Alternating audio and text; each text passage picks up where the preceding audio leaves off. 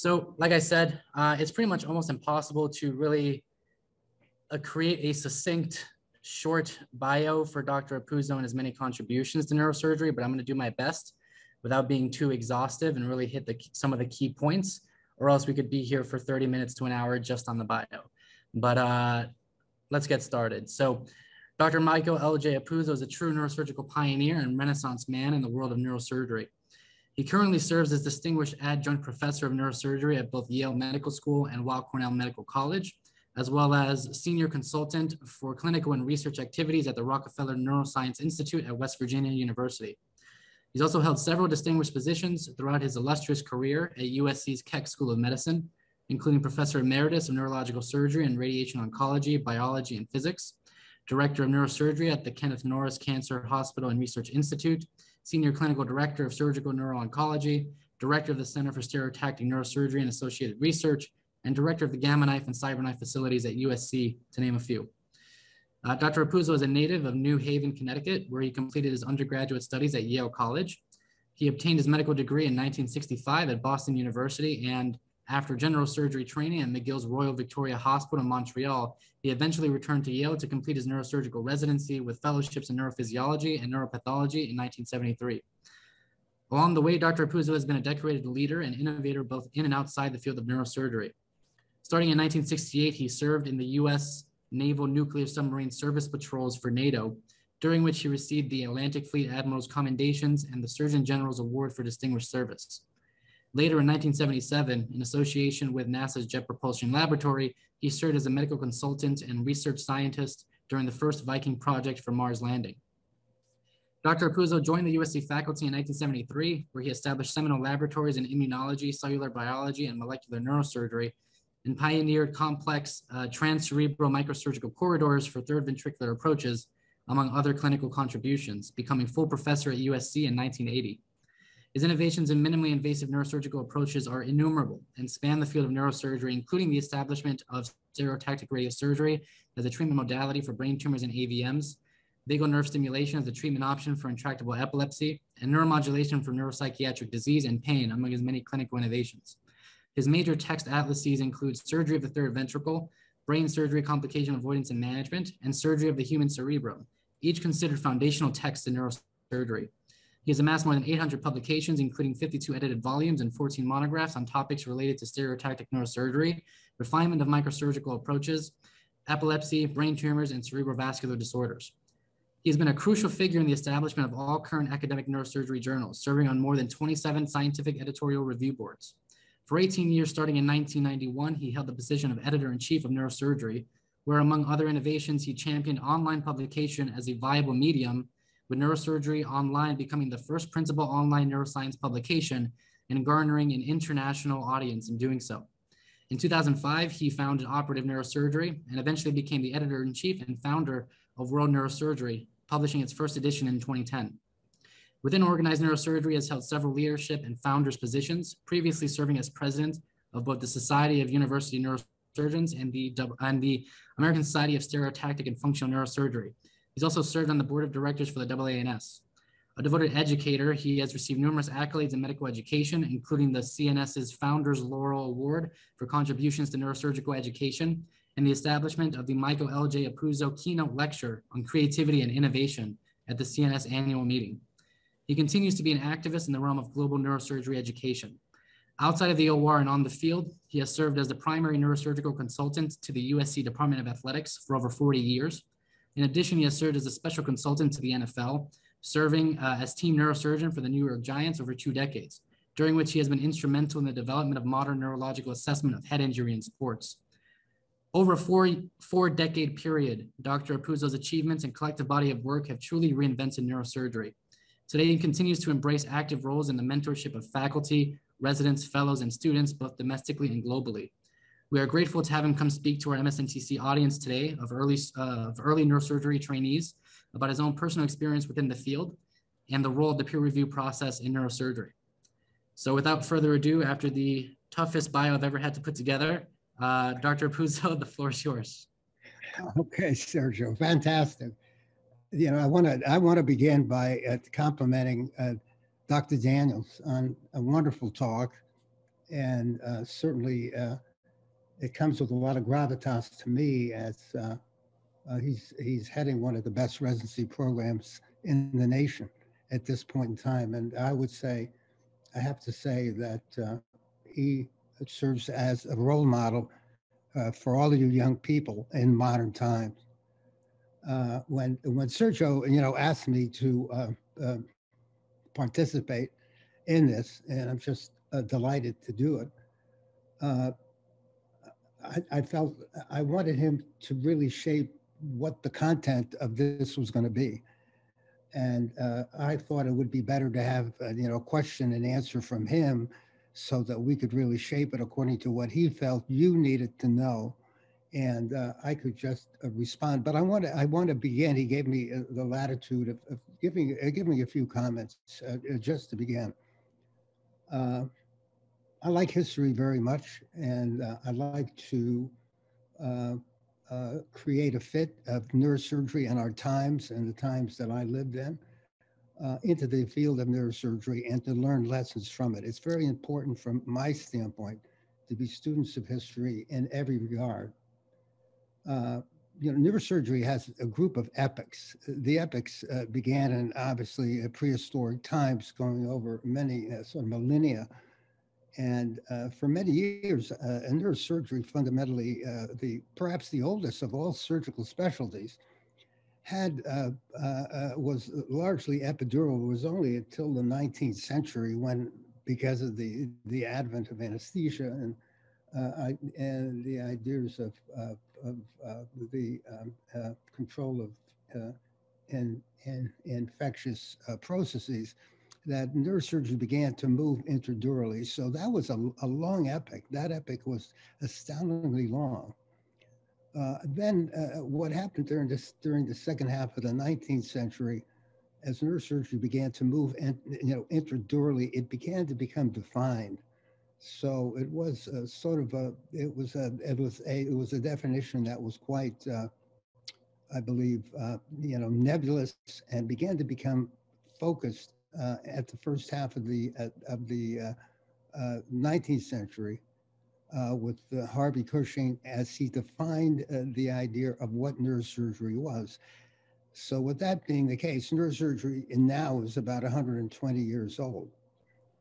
Uh, the first half of the of the of the uh, of 1900s was really Harvey Cushing and Walter Dandy, particularly many people in Europe and elsewhere, but particularly those two, began to create what nerve surgery was.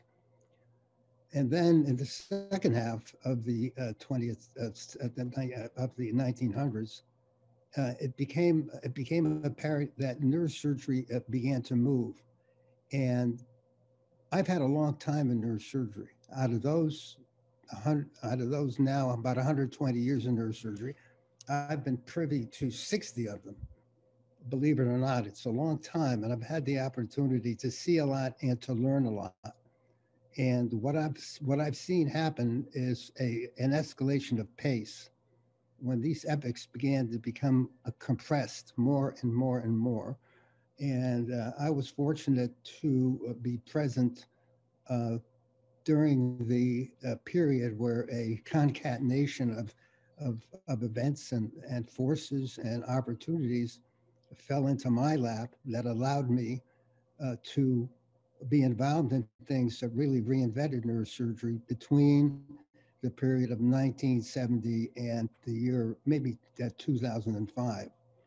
What's happening now is that is that we're in sort of it's I, I think uh, fundamentally and most of us who've seen these things happen think that it's a limbo period right now but ready to have another explosion.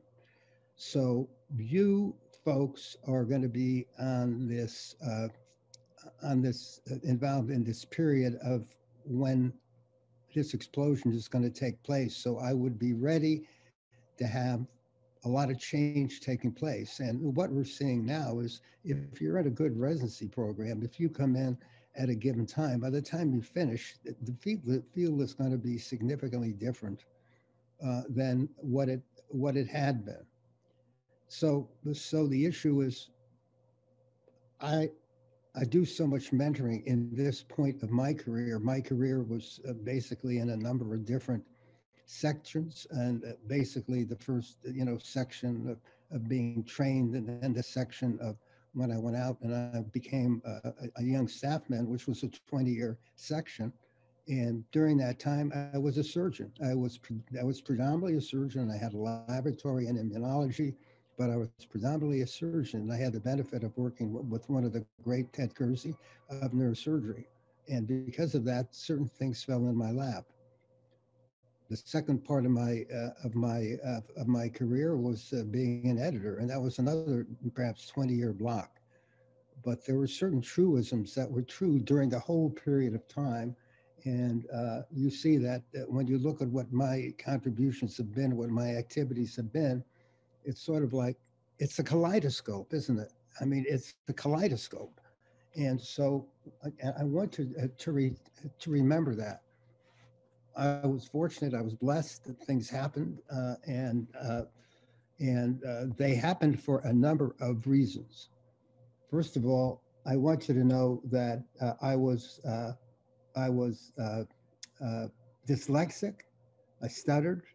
I had uh, I had all kinds of problems academically, and I was principally a graphic artist, and I was headed toward architecture. And for a variety of reasons, I ended up in neurosurgery. And so what I did was to take all the weak points and make them strong. So I would I would say to you there's very quickly before we get into the question, uh, question and uh, and and answer, I would say, first of all, know yourself. I think Dr. Daniels sort of alluded to that. You've got to know what your strengths, weaknesses are, and you've got to fit yourself so that you can play to your strengths and your weaknesses can be downplayed. Next thing is be involved. Don't be a wallflower whether it's a resident, whether whether you're a resident, whether you're a young staff person, whether you're a student, be involved, be an activist, because that will be a catalyst for ideas and it will build a fund of knowledge and confidence in you that will carry you through. Third thing, be diverse. Be diverse. Uh, uh, as Dr. Daniel said, you want to be a specialist. And to a certain extent, super specialization breeds being busy. Oddly enough, that the more super specialized you get, if you want to be a surgeon, under those circumstances, you will find that you'll get consultations from all over. But at the same time, you also become stale. And what you want to do is you want to avoid boredom. You want to avoid uh, avoid the uh, uh, the sort of wrath of being burnt out. I've seen it over and over again. And I want you to think about that and think of ways to head it off. And one of the, one of the ways of, of doing that is to be diverse in your professional life and in your personal life. As Dr. Daniel said, family comes first. That's what I've learned over all this time. Family comes first, but at the same time, neurosurgery is a, a commitment. As, as you commit to neurosurgery within that area, you have heavy focus in what your special super, super specialty is. And then secondarily, uh, you have other elements in neurosurgery that allow you to decompress when you feel boredom setting in. So uh, I would say, uh, and, and the last thing I want to say to you is be bold. Don't be afraid to fail. I think one of the big problems I've seen creeping in over the course of of uh, decades is people want to belong desperately. They want to belong desperately. They want to be part of the herd. And it becomes a herd mentality in terms of what you do. I have to do this, I have to do that, and then I'm going to be accepted into the club. Don't be afraid to fail because uh, because that was part of, of one of the attributes that I had. Because of the fact that I was not stellar in my academics, I failed a lot. I had problems with failure. That failure made me strong as I began to face things because if I failed, it didn't mean I just would shrug it off. And it wasn't a terrific blow like it would be to somebody who's a perfectionist. You're such so much of a perfectionist that fundamentally, when, when you take a hit in that regard, it hurts you. It really hurts you more than it does as somebody who's used to coming back. And I'm seeing I'm seeing in sports. So as that nice presentation that uh, that was made to introduce me showed you i'm jumping around i want you to think how did i survive all this time i'm as excited about neurosurgery now as i was when i was your age i promise you i look forward to, to coming to work every day this time in my career is is a career where i'm like yoda all right where i i come to, to cornell Dr. Stieg, I mentor, I mentor Dr. Stieg. All right. I talked, I mentor deans, I mentor uh, directors of, of, uh, of institutes, but I also, I also mentor students and college students and medical students and so on, and I get joy out of it. One final word before we go on to the questions that I really wanted to leave you with. The, the the most, the happiest that I am when I look back on my career, look at all, look at everything you heard, is patient care and the patients and the way the patients responded and the families responded and the emotional interplay that I had with them. The second most is my the people I mentor. And not only the people that went that became institute uh, directors. Okay, there, there are a number of those. There are deans of medical schools. There are heads of departments. I'm very happy and I'm proud, but there are also the people who didn't who didn't didn't take the big shot of, of glamour or whatever you want to call it, but they went and they took care of patients and they were great neurosurgeons, uh, and patients benefited from them. Okay, uh, let's let's ask. Let's start with the uh, questions, please, Sergio. Perfect. Thank you, Dr. Apuzzo. Um, so there are so many questions that I could ask and that everyone would probably want to ask. Um, I think I do want to focus them on a couple key things that might be helpful for our students today.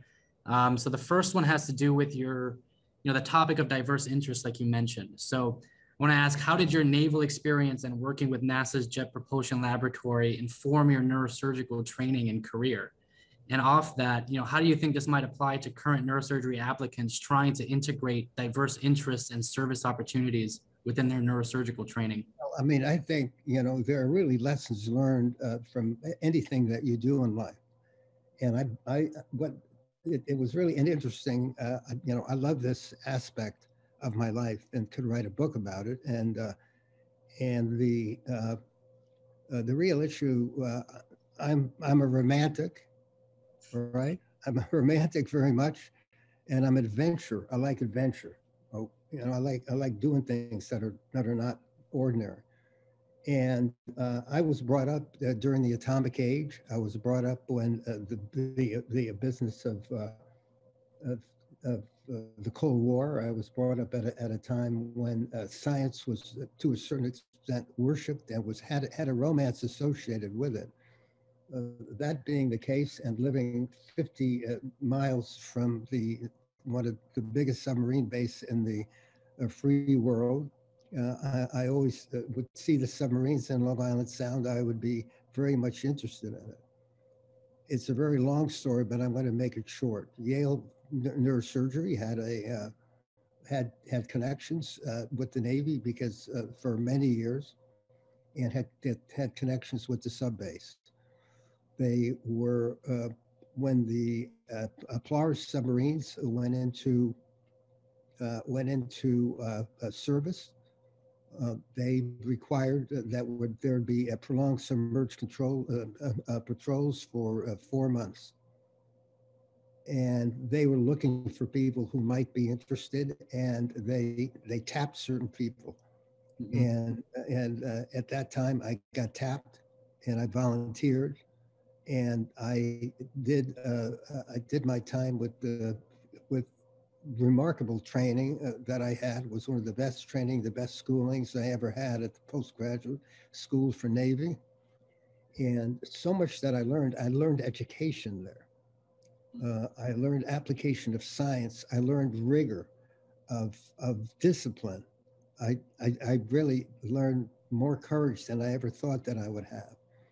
And our patrols went out of Holy Loch, Scotland, and we submerged. Uh, uh, we came down to Firth of Clyde. We uh, submerged at the continental shelf and either went under the ice pack, in the northern tier of Russia, or more pertinent to now, we went south by the Bay of Biscay, through the Straits of Gibraltar, all submerged into the Med, uh, into the uh, into the uh western uh, western part of the Mediterranean, through the mm-hmm. Dardanelles, into the Sea of Marmara by Turkey, and then into the Bosphorus and the Black Sea.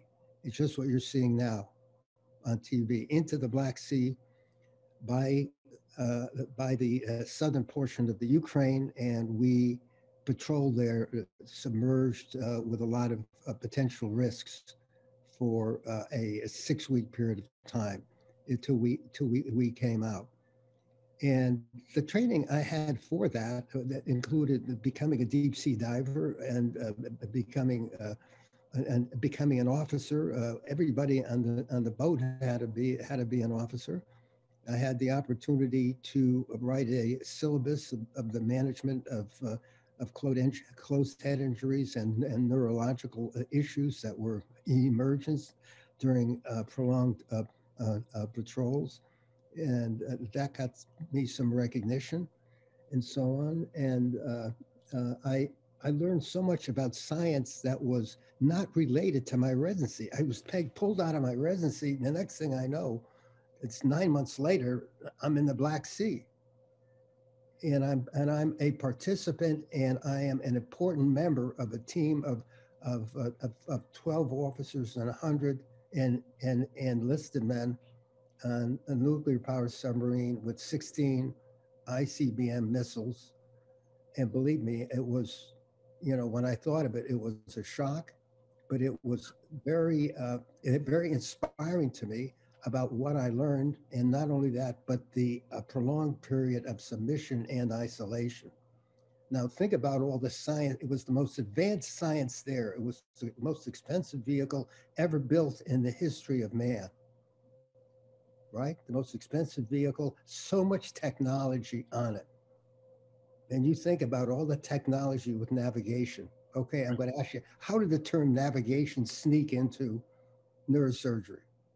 because of our navigation on the submarine. I, I brought that in through right. writings and so on into the submarine, and and so much of what we did in terms of of uh, the early uh, navigation packages that we had for stereotaxis came out of our, our there were various i don't have time to go through the different navigation modes that we have but they were so sophisticated that they took the submarine navigation modes gave them to the astronauts so part of the first moon landing was based on navigational packages from the submarine. So it was exceptionally sophisticated.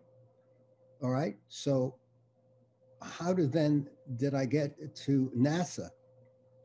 I got to NASA because when I went to LA, I had neurosurgery. I had my submarine experience. I was a diver. I had done isolation. I knew everything imaginable about high tech on those submarines, and they needed people to talk to astronauts, to work with astronauts about isolation and so mm. on, and to begin to talk about miniaturization. That was a big, big thing. Miniaturization. They had they didn't have enough room on the submarines for all of the all of the uh, uh, all of the equipment that they wanted to have in order to do the job. Yep. So certainly it was it was this was it was so natural to have that translation take place. The lesson from that from everybody, you never know what's going what you're going to do whether it's cross fertilization is going to take place. And there's a paper on that. It's called uh, it's called a I believe it is a submarine passage through the Bosphorus, the reinvention of neurosurgery. So and I'm the first author on that. I made myself the first author on that. So it's a great paper. Please look at it so you'll enjoy it. It seems like uh, all the sort of divergent skills that one might think have been, you know, would have been tangential at that point, really all diverged or converged together really when it needed to. Just remember when it was. We take it for granted. So many things we take for granted now, and I take for granted. you have no you, you have no idea uh, how rudimentary it was and how we flew by the seat of our pants in neurosurgery. I'm sitting here. I hope I don't seem like I'm ready, you know, to pack it in. But when I began, you know, there was no imaging. Imaging came in 1973. That was a huge break and a, hmm. and a huge break. As soon as the first EMI scanner, I was there doing something with Bill Sweet at the Mass General at the time. They were putting the first EMI scanner in North America in at the Mass General. A year later, I'm in LA. They're putting the CT scanner uh, next to my next to my office in the General Hospital Los Angeles. And that allowed me to make a huge leap in terms of interstitial brachytherapy and so on that I was doing freehand and everything because I was so close. It was so easy to do everything for me. So something a little bit related to that, you know, since we're touching on this. So you've played a direct role in shaping so many technological advancements over the years, really across all subspecialties in neurosurgery. You know, things like the gamma knife in SRS, formalizing the use of the man, uh, the microscope in neurosurgery, pioneering VNS for intractable epilepsy, and the list really does go on. So, what is your approach? What has your approach been to innovation in neurosurgery, and what role do you think research plays in that process? Of course, it plays a role. I mean, the trans- translation uh, is the uh, translation of what of what is of what is available away from neurosurgery into neurosurgery is so key. And remember uh, that when we begin to talk about new instrumentation being brought in or changes being made in neuro um, neurosurgery, uh, uh, the reason I want to tell you a little bit about how we got involved in uh, in radiosurgery. Obviously, I sat I sat all those months next to a nuclear reactor with 16 nuclear with with uh, with 16 missiles, each of which had, I believe, uh, six uh, nuclear warheads on. All right, I really, really was informed about radiation medicine and everything related to a sort of you know atomic uh, physics and so on at the time, nuclear physics at the time. So I was really I was up to speed. So when I came out, what it was, the first thing that was sort of becoming fashionable was interstitial brachytherapy. So I began with interstitial brachytherapy and uh, began to work with that and uh, went to Europe and so on and began to do interstitial brachytherapy. And that's how I got into the uh, imaging directed stereotaxy. Just incidentally, I stumbled at it at a ski meeting. I stumbled upon it and I was looking and I was active. I was doing something. I stumbled upon a a, a plastic a plastic mock-up of the BRW frame. Hmm. All right, and that led to ten years of work with the University of Utah, ten years with Trent Wells in his in his in his uh, uh, in his um, factory that I would go to every morning on the way to the General Hospital, and and uh, and that led to me doing. Uh, actually, what happened was uh, the people at the Brigham were doing some work. I called them. We had a sort of uh, an understanding that uh, that I would that I would be working with Trent Wells because he was right near me, and Trent Wells was making their hardware. So I would see it every morning, and we began to talk about it, and I began to talk to them. So ultimately, in 1984, we did the first radiosurgery in North America uh, because just because we were so close to all the hardware and we can make alterations in it and so on. So what I want to give to the young people, if you're active and you're involved, people come to you. People come to you. How do you think the VNS happened? Because I'm so because I'm aware of everything that's going on. No, a neurologist walked into my office, right? A guy named Chris DeGiorgio Chris walked into my office and put it on my desk, and I threw him out. I said, "This is stupid. This is ridiculous. You know, putting a coil on the vagus nerve to treat epilepsy." Then I then I went back and I looked at some animal studies, and I decided that we would do it. So that's how it happened. How do you think the endoscopes happen? All right, I, because I was when I was a junior staff, I went. My office was the coffee room for the department, and a person a person by the name of Milt Heifetz who was really a genius, was working out of the old Cedars Hospital in LA, and he was a genius. And so people were coming to him with different devices and so on because he was an innovator. So I had ties with him for a variety of reasons. He saw me sitting there depressed. And he said, you know, they brought these Hopkins endoscopes. They're brand new. Nobody's ever used them in neurosurgery. They, there's a little bit of work being done uh, in, in uh, GU, but these, these are so new with the with the light gathering and so on. And he said, "Do you want to use this?" I said, "Of course." And so that's how we went to work. And and I, I I just went to work, and it became very innovative how we used them. And so that's why in 1977 we changed the whole we changed the whole game in terms of, of doing what what the what the endoscope endoscope work as far as neurosurgery go. So it was that far back. And if you look at that, it went into JNS as a uh, as a technical note. I put it in a technical note to get it in and get it out there fast. Mm-hmm. So this is how these things happen. They happen by you, as I said, being active and being ready to take a chance, not being not worrying about failing, and by uh, and by uh, and by knowing people and by having always be looking about things that might be relevant to what your tasks are. Yeah it really seems like the theme that we've been building here is that you know talent and more importantly hard work sort of meeting opportunity. Right and, and you don't have to be and you don't have to be a genius but the point is you have to be you have to be serious about what you're doing and you have to be bold. There needs to be boldness. And that's what I want to say to all of you. My my greatest fear is that people want to belong so much to to a certain way of thinking that it's that they feel will get them into the club. It's dangerous. And you know, I went to the to the uh, I had to go to the Karolinska Institute uh, for uh, for some Nobel stuff that was going on, and that was part of the whole tenor of what our discussion was. And they were they were afraid that what they were seeing and what I was seeing, what I've seen uh, during the course of, of, of my time, and even now, is people too anxious to be a club member.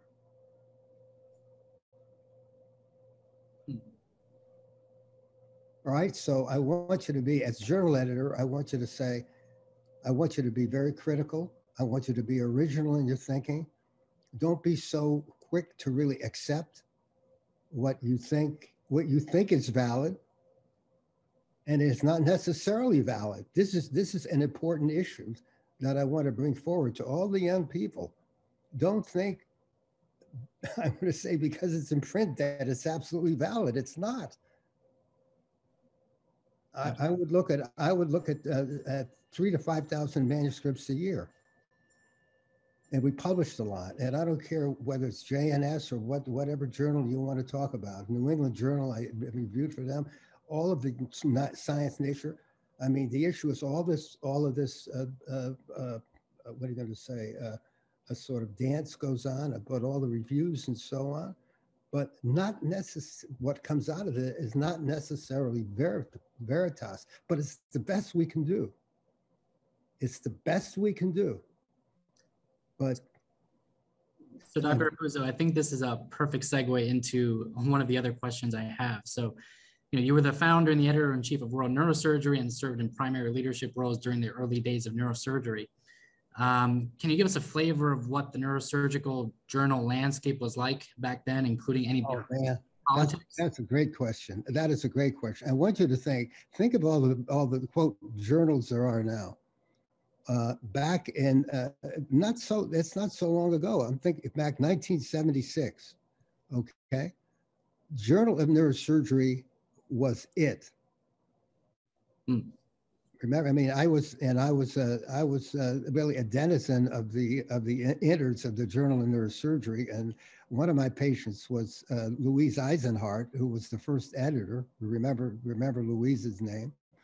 And uh, and i would sit with her i, would sit with her uh, in, at yale new haven hospital the second year resident i think at that time.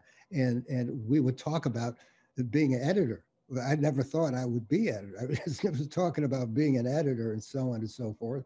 And then Dr. Collins uh, became editor, and I was my chairman, and I became close to him. He gave me opportunities early on to uh, to work at, on the editorial board of uh, JNS early, but there were only two. There was only one journal in 1977 with a lot of resistance. I will tell you, a lot of resistance. The Congress then founded neurosurgery. All right, so that was that was from I believe it's a 19.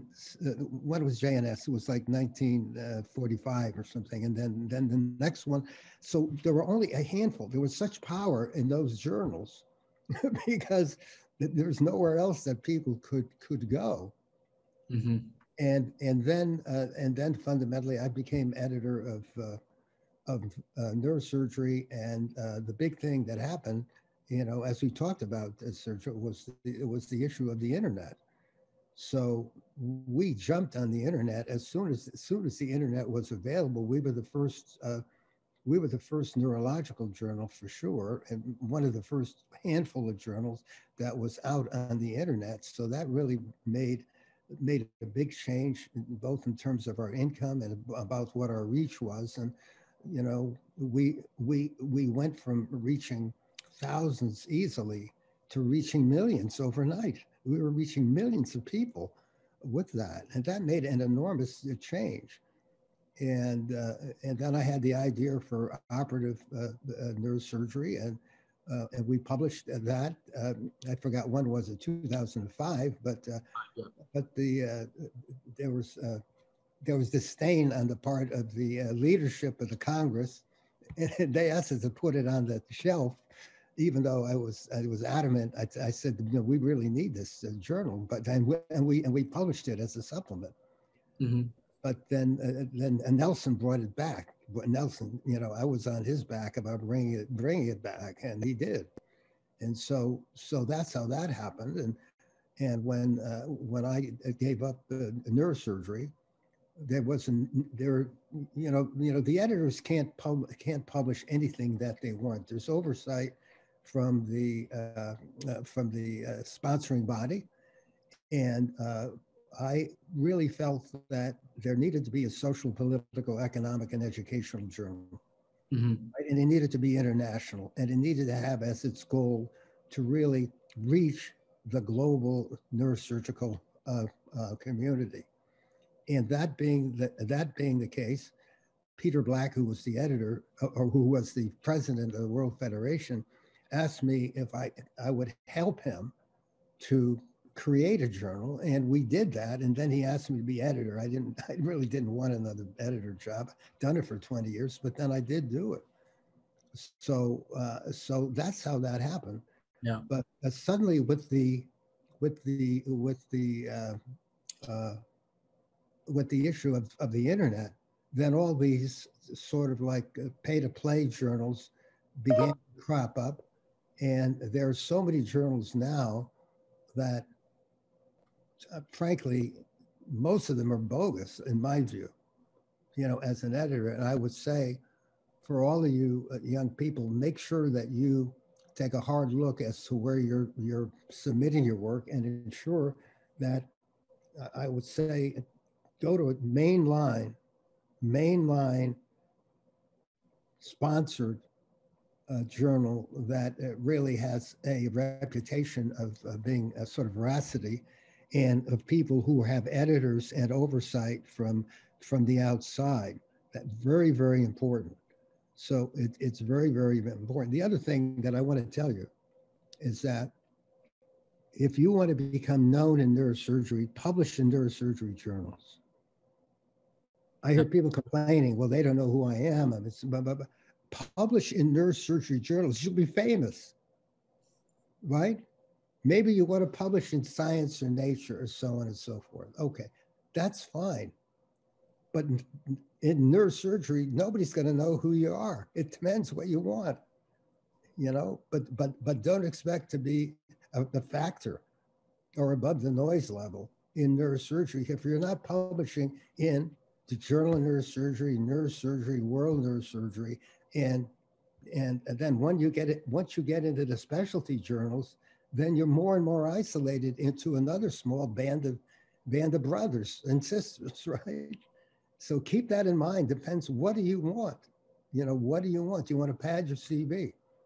You know, Dr. Daniels was talking about about the uh, about how he looks how he looks at, at uh, people at the uh, at the uh, Mayo Clinic, and that he does a classic review that is really fantastic and rigorous and so on, and it's really what we all want to hear.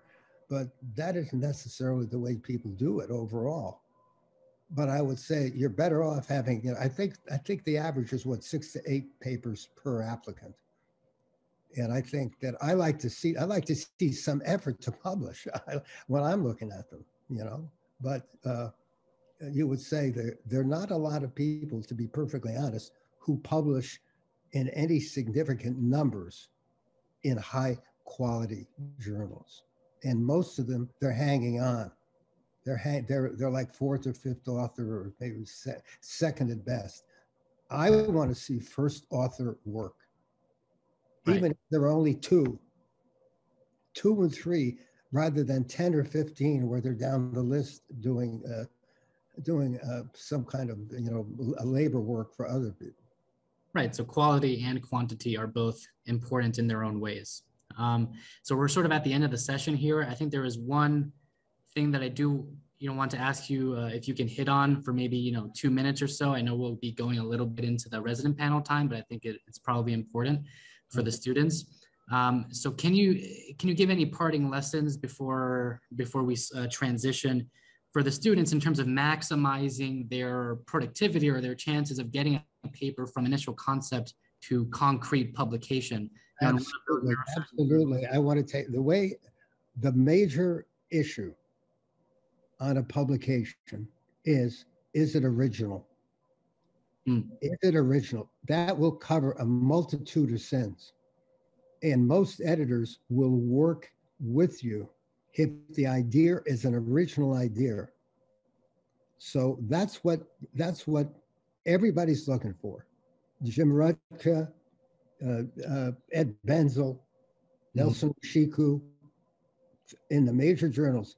That's what we're, we are. That's what we're we're looking we're looking for that please please i'm thinking of i told you 20 years three to 5000 manuscripts a year how many just a handful of original. Mm. handful. It's so it's unusual to have something truly original. I mean that's where all of us that's what we're pleading for. That's what we're looking for. So sometimes there's a home run original, sometimes there's a kernel of originality. So please, and I would say, when you walk in, you young people, you walk into the hospital, there are ideas all over the place. That is a sea. It is a sea. You're swimming in ideas. You go into, into the labs of your mentors and so on. There are ideas all over the place. Put your thinking cap on. Be active. Be bold right? Be thinking of things you can pull in that aren't relevant. Right. And know, the other thing is know the literature. Exactly. Yeah. A lot of that's gonna, you know, come from understanding the field, right? And so that's where you're really gonna find those niches. Um, all right. Thank you, Dr. Uh, Dr. Apuzzo, so much for this uh, really insightful and inspiring session. Thank you so much. Um, I want to tell you, I want to thank you. I've been so honored, and God bless all of you. Hey everyone, Ryan Rad here from neurosurgerytraining.org. If you like that video, subscribe and donate to keep our content available for medical students across the world.